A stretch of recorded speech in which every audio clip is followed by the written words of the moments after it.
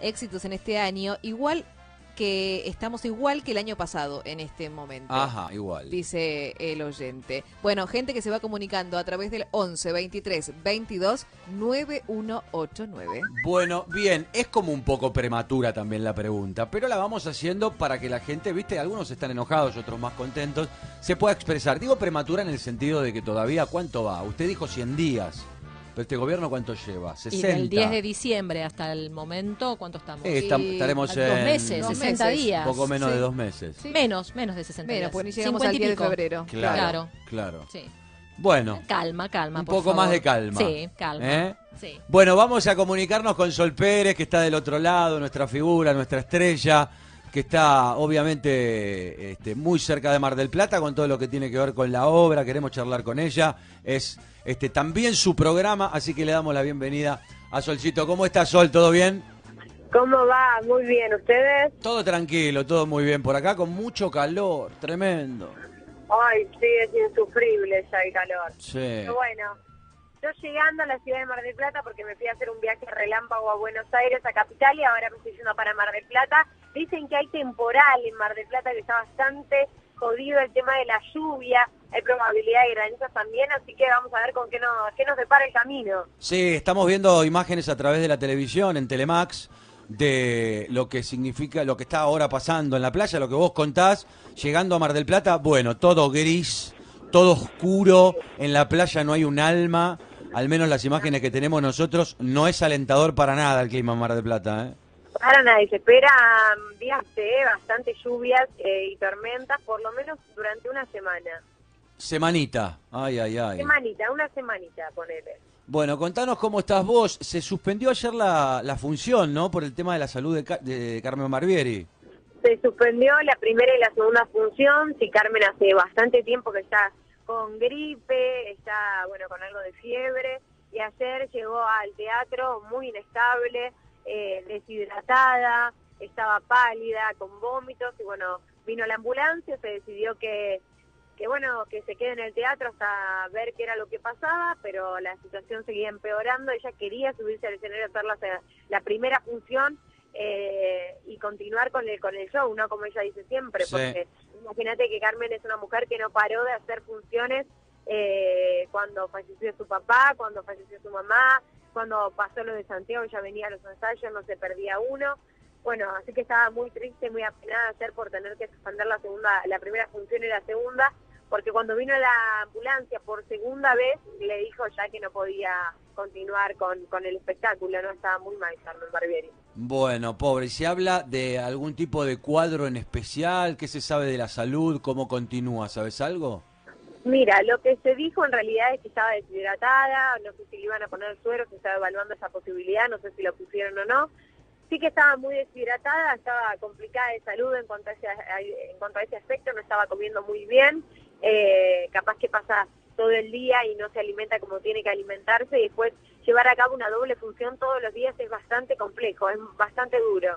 Sí, seguro, sin duda. Y aparte, como decís vos, sabemos que Carmen es es de esas laburantas de la vieja época, ¿viste? El show debe continuar, tal cual lo dijo Sol la frase. Sí. Para que Carmen se baje y se vaya de, de una función, a mí, sin conocerla tanto, me da la sensación de que estaba mal por ahí de verdad, ¿no? Que ella no podía hacerlo.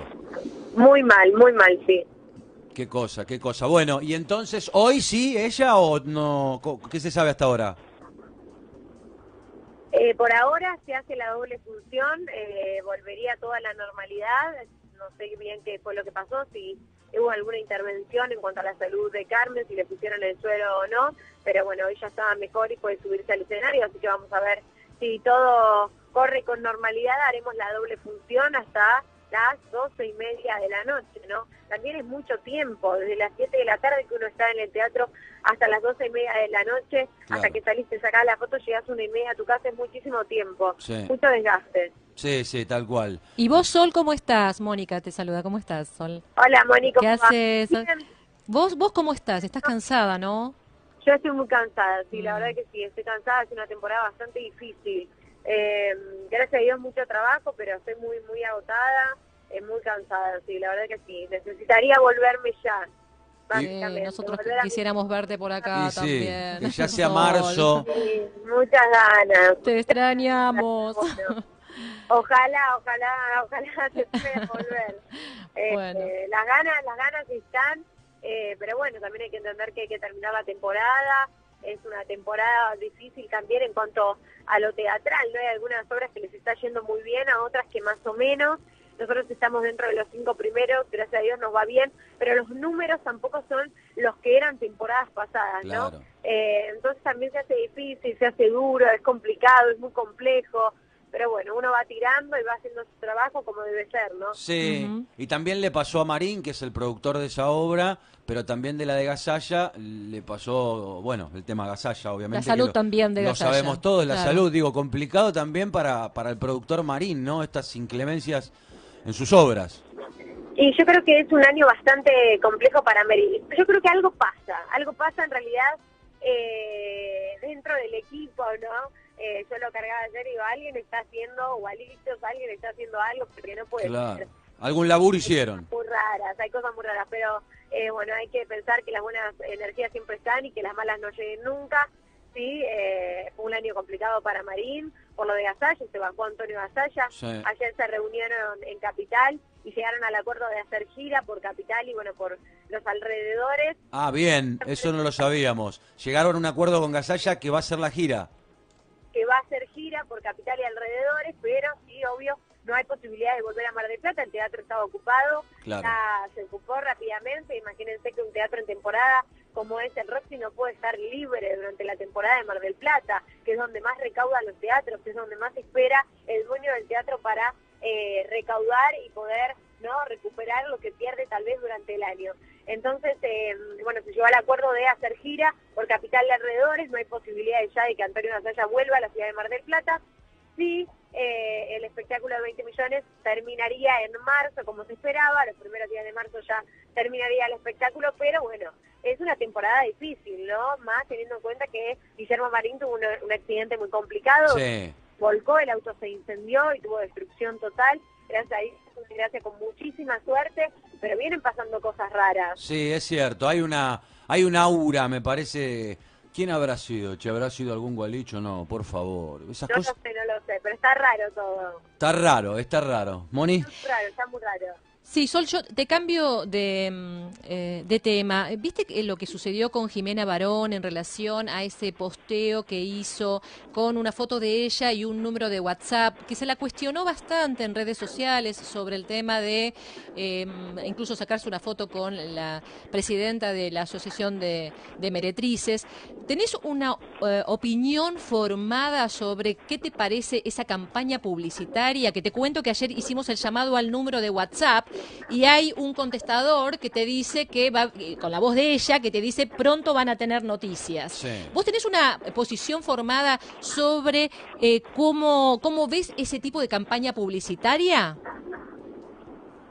Mira, la verdad es que no estoy tanto eh, al tanto, para valga la redundancia, del tema, no no estoy tanto al, al tanto, porque no, acá en Mar del Plata, viste, uno se la pasa corriendo y trabajando durante todo el día y no presta tanta atención tal vez a las noticias como si, si uno está en Capital y prendes la tele a la noche y te vas a acostar con la tele prendida. Terminamos muy tarde acá. Sí, obviamente me enteré, me enteré que bueno, hubo como una guerra, eh, sobre todo con, con eh, las militantes más eh, añejas de- del feminismo. Sé que hubo una lucha, que hay una lucha ahí. Obviamente me parece que, eh, teniendo en cuenta que Jimena Barón trabaja de eh, eh, a- hacer música, Sí. de hacer arte, de, de, bueno, de, de que uno tiene que vender entradas, porque básicamente es tu entrada y tu ingreso para comer y darle de comer a tus hijos, me imagino que lo que quería causar era un impacto y el impacto lo causó.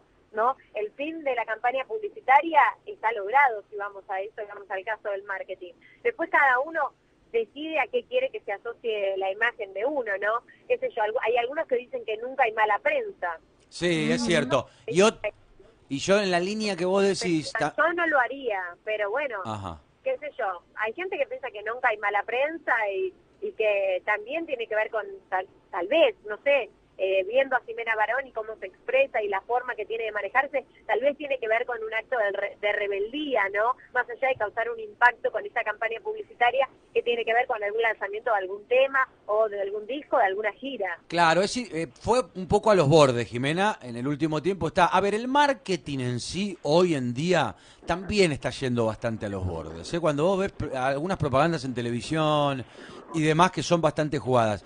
¿Qué quiero decir con esto? Que me parece que en el marketing, como bien dice Sol, eh, a veces casi que vale todo. A veces casi que está casi todo justificado. Acá, el tema delicado, Sol, eh, eh, donde estaban las, digamos, los cuestionamientos para Jimena Barón más puntuales, tienen que ver con que ella, en esa fotito, digamos, está como, no se dice alentando, pero como copiando lo que era en un momento, lo que es el tema de la prostitución, donde te ponían en los autos, viste, las fotitos, y hoy en día te siguen poniendo las fotitos de las mujeres con el número de teléfono para que vos, eh, si querés tener algún servicio sexual, llames. Digo, y se, es- eso está tan delicado con el tema de la trata de personas y demás, que desde ese lugar se la critica a Jimena. Claro, yo creo que eh, básicamente cada uno con su vida y con su cuerpo hace lo que tiene ganas de hacer, ¿no? Obviamente que nosotros seguramente no no compartamos esa esa forma de, de, de ganarse la vida, por así decirlo, ¿no? De la prostitución. Yo por lo menos no me no no es lo que de lo que yo trabajaría, pero bueno, entiendo que otra persona tal vez elija esa forma de, de vivir y cada uno tiene el derecho de hacer con su vida y con su cuerpo lo que quiere. Lo que pasa es que atrás, sobre todo de esos eh, carteles, eh, hay, hay, hay todo un mercado con respecto eh, a las mujeres que no está bueno. ¿eh? Claro. Sí, es verdad, y uno tiene que tener muchísimo cuidado. ¿Por qué? Porque hay mucha trata, porque hay mucha gente que regentea, que vende mujeres, que se aprovecha de las necesidades de, la, de las chicas más, más tal vez vulnerables. Eh, hay que tener mucho cuidado porque hay chicas muy, muy chicas, hay menores trabajando, hay muchas chicas trans que no consiguen trabajo y lamentablemente no les queda otra que la prostitución para ganarse la vida y tener un plato de comida, ¿no? Me parece que no mm, hay que tener cuidado con lo que uno juega. A ver, la campaña publicitaria como marketing y causó el impacto que seguramente quería causar. Sí. Ahora, vamos a la pregunta que nos tenemos que hacer todos cuando hacemos algo para tener publicidad. ¿Es lo que yo quiero? ¿Es, es, es a lo que yo voy? Eh, ¿Es lo que yo, eh, eh, o es lo que tiene que ver con mis ideales o con mi política y mi pensamiento? Y tal vez con el mío no, y yo no lo haría. Eh, y a mí me parece que por lo que, como se venía manejando Jimena Barón y por las cosas que así decía y por la lucha que ella lleva y la bandera que lleva, me parece que tampoco tiene que ver con la imagen de Jimena Barón. No. Pero bueno, qué sé yo, a veces uno eh, se deja llevar por causar un impacto o por también la rebeldía, ¿no? Que tiene eh, todas las revoluciones, ¿no? Las revoluciones tienen picos máximos de, actos de rebeldía que tal vez no están bien. Y si uno se pone a pensar así, sí, no era necesario, pero tiene que ver también con la revolución. Me parece a mí que, según mi forma de ver, la pipió. Pero bueno, eh, el fin de la campaña publicitaria está claro que estuvo más que logrado.